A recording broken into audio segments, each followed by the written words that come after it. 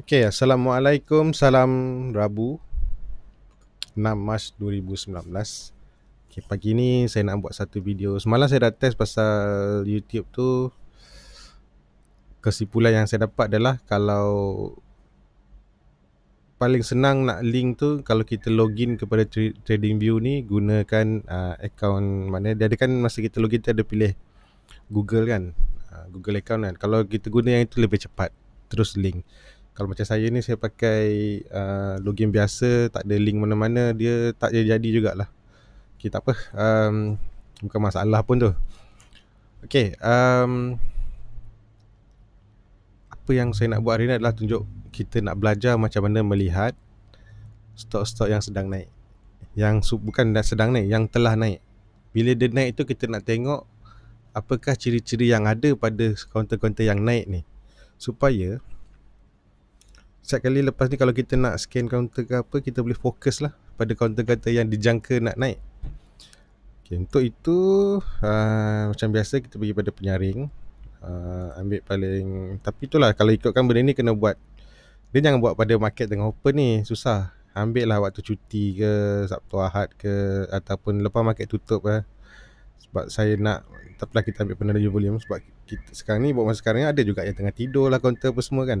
Tapi konsep dia tetap sama penerangan volume ni. So dalam penapis ni maknanya penerangan volume ni most active lah. Most active ke top gainers ke tak kisahlah mana-mana pun. Apa yang kita boleh buat adalah type prestasi. Okay, prestasi kita ada 6 bulan, 3 bulan, tahunan ataupun year to day, year to date. Year to date tu maksudnya daripada awal tahun sampai sekarang. Ah, dan nilai ni adalah dia punya dia punya nilai um, dalam bentuk peratus. Daripada start untuk yang contoh ni saya nak ambil 3 bulan. Saya nak tengok saya nak tengok counter yang telah naik sebanyak 50% dalam tempoh 3 bulan terakhir. Okay, itu saja. Volume ke apa semua tak payah. Uh, nanti boleh tukar-tukar ikut ikut suka-sukalah tak kisah siapa-siapa pun suka eh. Ah, Sekejap, uh, my ni macam Cun pula. Okay. Bila kita dah tengok tu Kemudian kat sini baru kita susun. Uh, Ikutlah apa yang kita suka nak tengok mana satu. Ikut paling mahal ke, paling murah ke Okay, dari sebab ni 3 bulan yang terakhir dia menunjukkan kenaikan sebanyak lebih daripada 50%. Jadi kalau kata kita ambil contoh satu dayang lah. Dalam masa tempoh 3 bulan terakhir tiga bulan terakhir maksudnya dari Mac, Februari ha, lebih kurang lah ha, lebih kurang jadi apa yang kita nak tengok apakah persamaan yang ada saya padamkan dulu ha? dari mata kasar apakah persamaan yang ada yang kita nampak di manakah permulaan dia naik? Ah, di manakah permulaan dia naik? Kita nampak dekat area sini. Betul tak? Permulaan dia naik. Okey. Dan juga apakah yang yang halangan terakhir dia sebelum dia nak start naik? Lebih kurang di sini. Ya lebih kurang di sinilah area sini. Okay, betul tak? Jadi kalau betul kalau betul apa yang kita nak tengok adalah itulah itulah cerita dia jadi kita fokus pada area sini lah fokus pada area sini apa yang kita boleh tengok adalah uh, oh pada ketika ini nampak ada satu panjang keluar.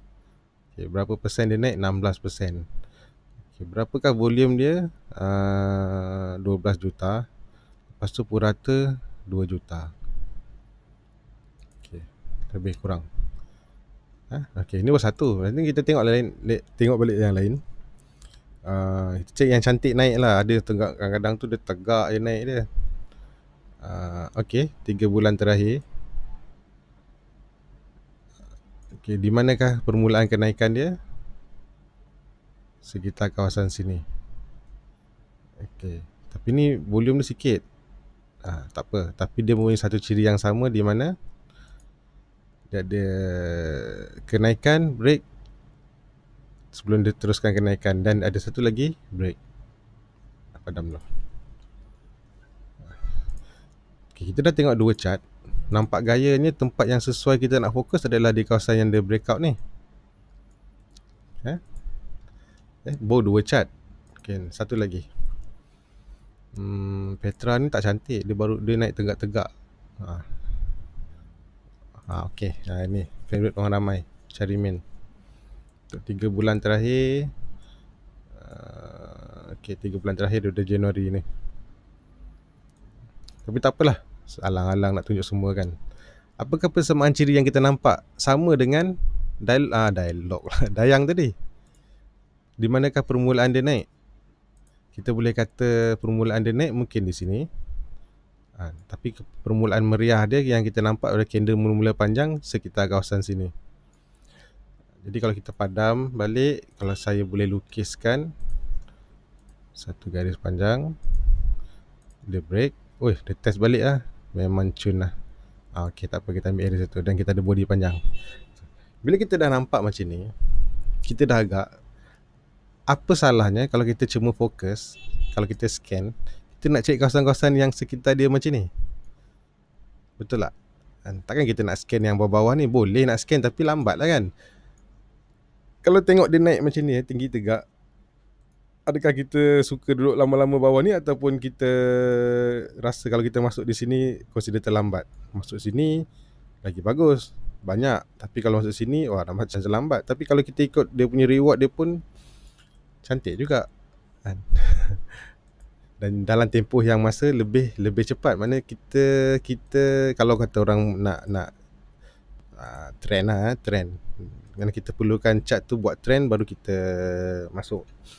Kalau rasa dia di bawah ni itu itu yang saya selalu kata dia duduk bawah ni pasal pening. Pening dia tu dia pening kita pun pening.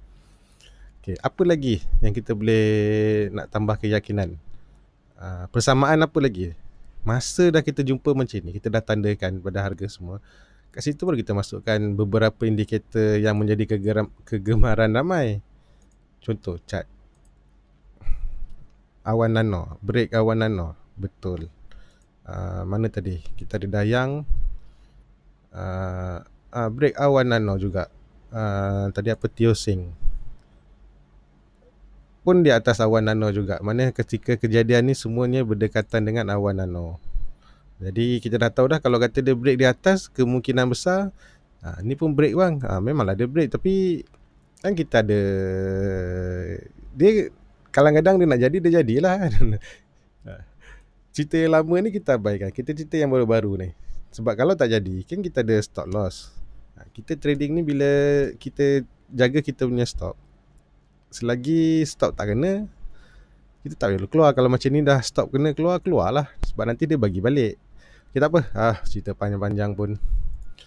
Uh, apa lagi kegemaran ramai? Uh, MACD. Dan kita tengok apakah ciri-ciri yang ada ketika dia breakout sini. Oh, MACD semua berada di atas ah, di atas kosong. Betul tak? Betul. Bukan saya kata chart ni yang tunjuk. Ni MACD pun berada di atas kosong. Lepas tu tadi cari main.